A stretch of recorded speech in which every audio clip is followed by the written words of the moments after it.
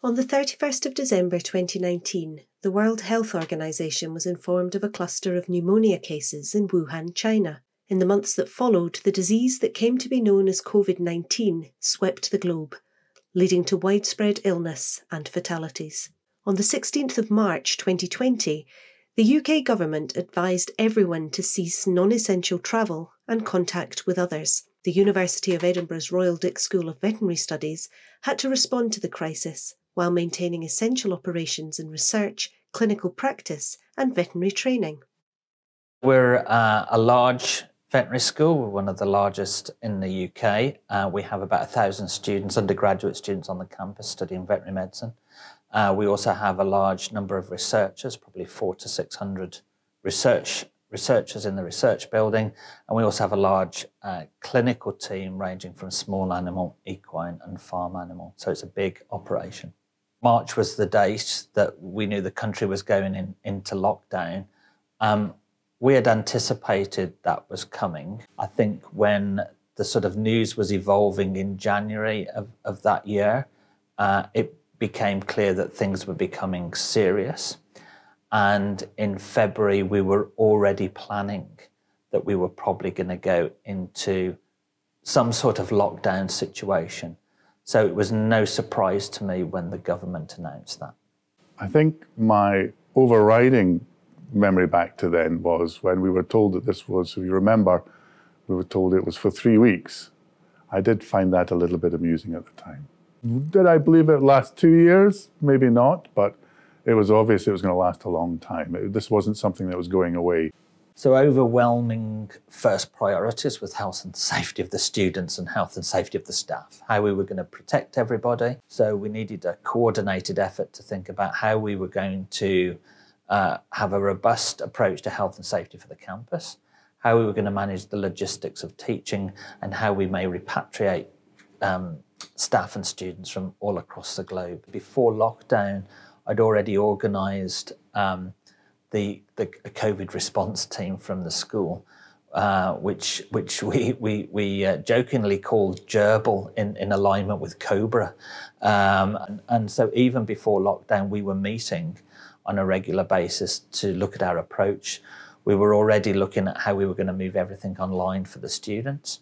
And of course, when the news broke, we just had to make sure we had all the communications correct and how we were going to communicate that in terms of when we first went into lockdown, um, there was obvious anxiety because we knew this was likely to happen. But I think that very soon we moved into that situation where you have a problem to solve. You have a, a, and that becomes a challenge to try and solve the, the problem. As a health and safety manager um, i was aware that the campus couldn't fully close like some places in the university.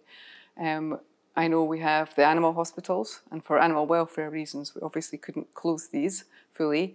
Um, I knew there was um, research going on, which would be classed as essential research.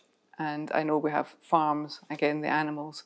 We couldn't just close the doors like some organisations and start working from home. Initially, we had to start thinking about how we were going to be able to continue to provide the support that we do to the essential research that was going on obviously the animal hospitals, the clinics, they were going to continue. So, how could we support those functions while obviously maintaining our own safety? We knew from our colleagues in the NHS, we're a College of Medicine and Veterinary Medicine, that um, that cases were on the rise and the hospitals were becoming full uh, and the situation was becoming serious. And we were also having conversations with the NHS and colleagues at that time about what role we could play as a school in supporting Scotland's approach to the pandemic. So we had started to review how we would wind down our hospital, um, particularly the small animal hospital, um, at the beginning of March, because we thought, apart from anything else, most of our equipment might end up being used for humans in the pandemic. We have expertise in epidemiology, infectious disease, informatics that we could support, um, you know, the information gathering. But on a more practical uh, uh, level, there were a couple of areas that we were exploring. One which we definitely did do, which was uh, machinery for the NHS. We gave oxygen and oxygen cylinders. Um, we gave ventilators, infusion pumps, right down to scrubs and masks uh, and even um, surgical scrub solution. And one of my favourite moments of the of the whole experience was getting a picture from ICU in Glasgow of one of my great friends in a scrub top which said student vet on it. And really felt that we were we were doing something uh, to help the, the, the effort that was going on.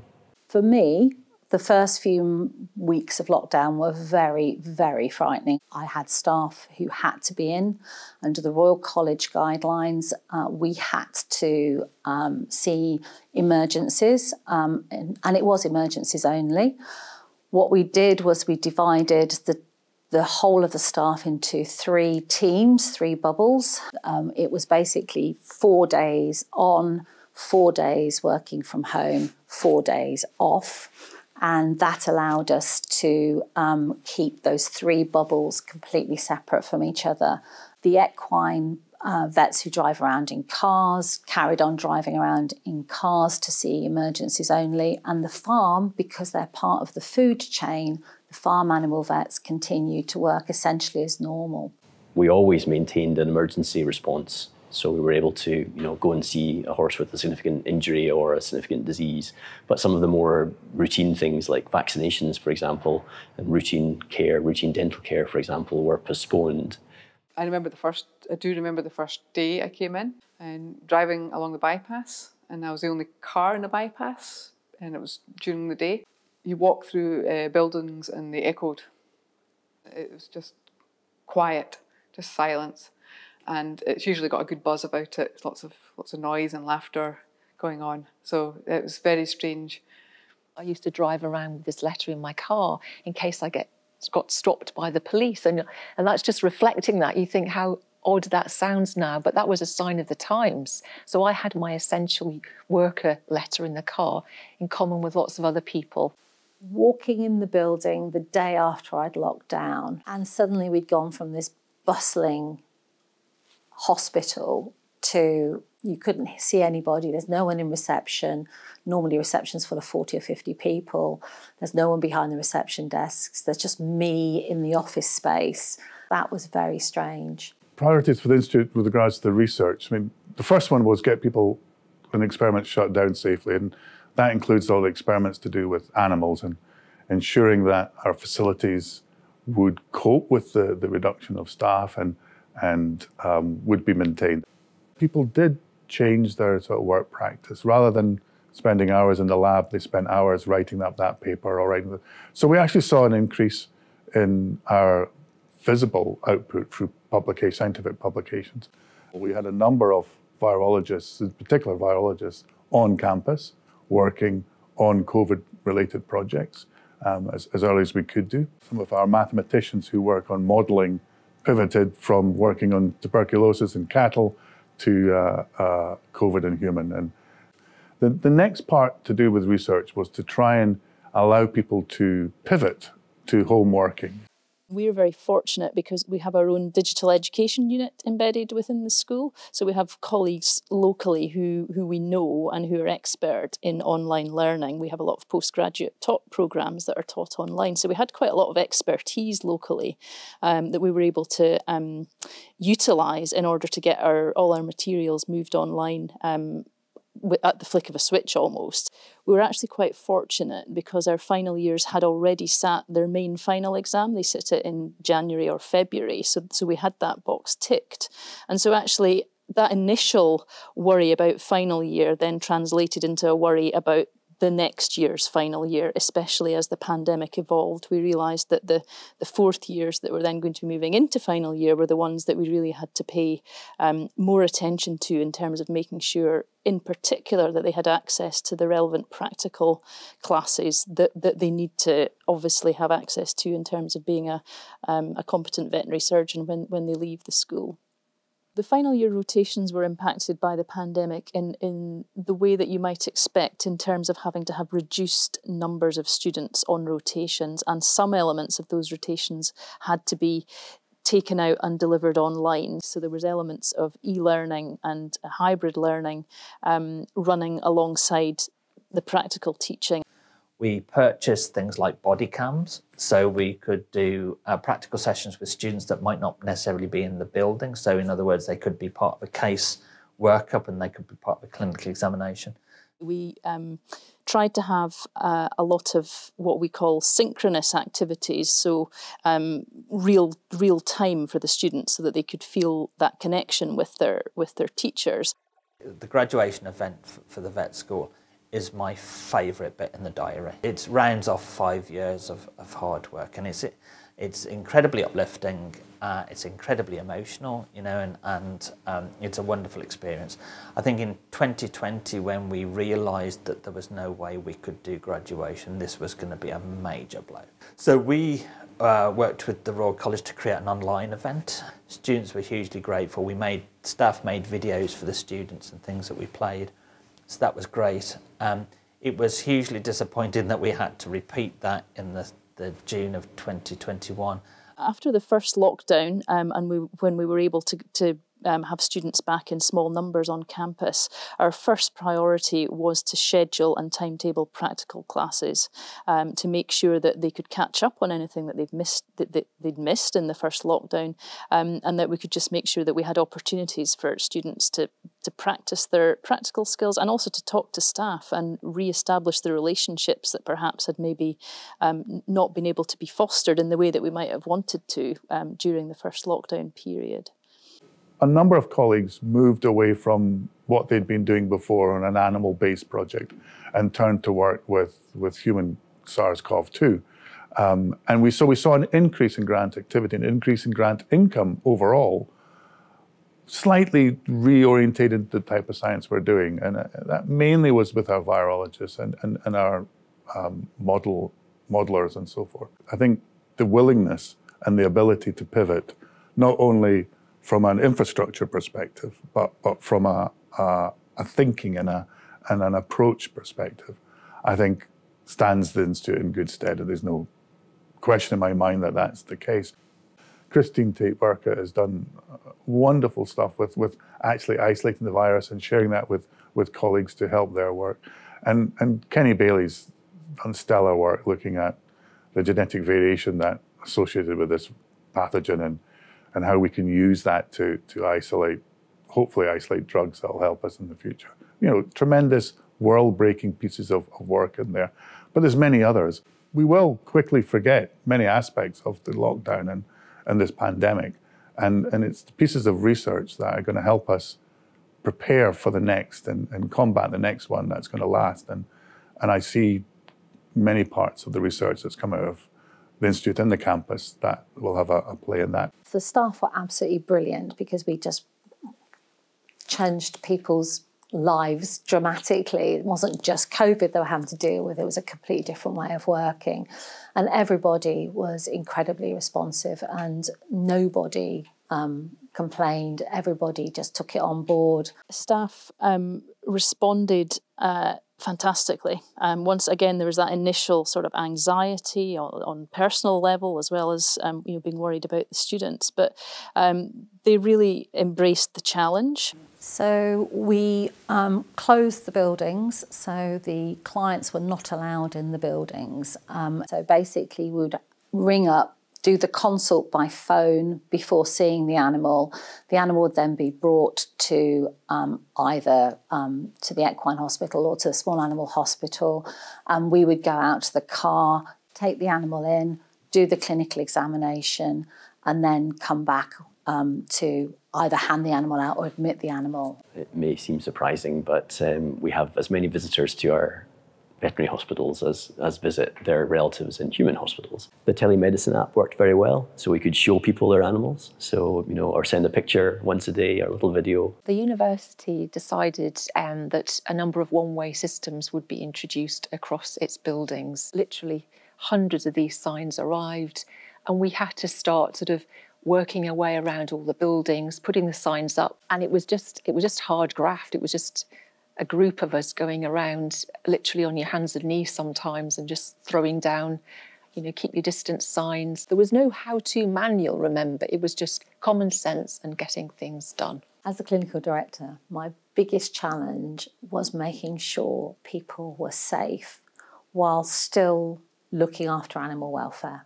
Every time they saw me, they would think, oh, God, here she goes again. Because I would patrol the corridors um, and, and make sure we had compliance on, on um, particularly the one way system. Um, they were brilliant at mask wearing, but occasionally they would forget that we were supposed to be going one way down a corridor, not the other way. Another sort of priority for the Health and Safety Department was um, trying to reassure sort of different people um, that the measures we had in place um, were adequate. We also knew that we had to comply with test and protect, um, so we had, had to have a, a method of uh, knowing who was in which building uh, when. We have uh, tablets at uh, entrances and exits to the buildings, and employees, students, and visitors all sign in and out of the, um, this sign in app. So we can use that for both fire safety and also for test and protect reasons. I think actually one of the nicest comments I received when people started coming back after the first lockdown, or certainly more people started coming back, and all the signage and the sign-in app had been put in place, was you know the buildings feel safe to work in. So when um, more people started returning to campus, um, it was it, it, was actually harder in some ways because then that's when we had to sort of implement the one-way systems and the room capacity numbers. The, the major risk when people started returning back to campus was obviously we were concerned about um, an outbreak of COVID uh, in particular areas, especially in areas where people couldn't social distance, for example, like the, the animal hospitals, and also the, the teaching staff working with the students. So yes, a, an outbreak uh, was our main our main concern, and we managed to avoid. uh, during the pandemic, um, we did have to make some changes to, to how the hospital and practice works in terms of the buildings. We did change so that we had uh, one-way systems, uh, social distancing. We tried to reduce the numbers of people involved in each case. Um, but you know, we're dealing with animals that weigh perhaps 500, 600, 700 kilos, so you have to keep yourself safe. We decided that we would uh, provide face coverings uh, for people entering clean areas such as uh, a clinical environment or a laboratory environment. Um, the reason we made that decision is because we wanted people to, to not wear the same face covering in that environment as they would at home. I was particularly concerned that we would not be able to get hold of masks to be able to protect our staff um, and also, I didn't want to be using masks that might have an impact on the NHS's safety. I don't want to be in competition for them to order them. So, we had a lovely lady who was an equine client who ran a clothing shop in Edinburgh, and um, we got in contact with her with our requirements for the, the numbers of layers that we wanted in our masks and the type of cotton we wanted our masks to be made of and she ran up 1,100 masks for us. And um, that's what we provided to our um, students as well as our staff when the students came back. I think the initial stages, we weren't probably so much aware of what the impact of lockdown would be. And I think that became more apparent as lockdown went on. It's very clear that you know, uh, students could become isolated and their mental health became, uh, you know, challenged. And that was the same for the staff one thing that we're all really starting to realise now is we need to have the students back with us in person as much as we possibly can um, for that sense of community, for their well-being um, and just generally for their engagement with, with the course. We're spending as much time as we can emphasising to them the importance of social interaction for their own well-being. You know, we're all now experts on Teams and Zoom and, and so forth and, and uh, um, although we still forget to unmute ourselves and we still forget the camera's not on and such like things. It was relentless. It was relentless, and and I think many many colleagues will recognise that their core hour just dissipated. I think for me personally, the hardest time was um, the second lockdown. Um, I had, I remember vividly talking to my third year class just before Christmas that year, and saying, that's a, guys, great, great job. We've got through the course. I'm sure next year everything will start to improve and we'll have more time together and, you know, we're over the worst. And then wham, there's um, another lockdown comes along. I think when you've lived and worked through such a major world event as this, inevitably, I think um, it brings people closer together. We all now know we can work in different places. We don't have to be at our desk or office desk or, or our lab 100% of the working day to be productive. We can actually function in different parts of, of our community. And, and, and I think that's good. And I think we have to adapt and capture that ability. There are lots of things that I'm very proud of uh, as to how our team responded to the pandemic. You know, to an individual, nobody refused to make some contribution, whether that was come to work or cover things online um, or, or, you know continue to provide our, our service. Everybody, with a smile and a, and a cheerful way, continued to do what we do best. If you had asked us to innovate in the way that we did without a pandemic, we couldn't have done it. And, and that that's the, the I mean we've got to take the positives out of this that we've we've got lots of innovation, lots of really positive things that have come out that we'll keep forever. I think the, the, the biggest message from me is, is, to be honest with you, a big thank you to all the staff and all the students. And when I say all the staff, I include now all professional services, security, servitors, the cleaners, everybody who worked really, really hard to keep the show on the road. And we did keep it on the road. Uh, it was exhausting, but I have to say, people have done an incredible job.